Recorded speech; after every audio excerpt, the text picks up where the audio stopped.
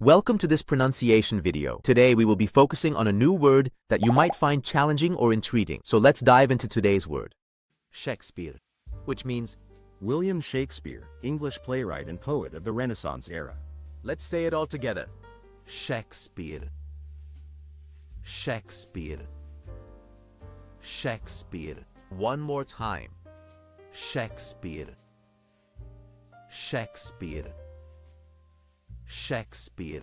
Thank you for joining us on this adventure in pronunciation. Remember, language is a journey, not a destination. Keep exploring, experimenting, and expanding your linguistic horizons. We'll see you next time.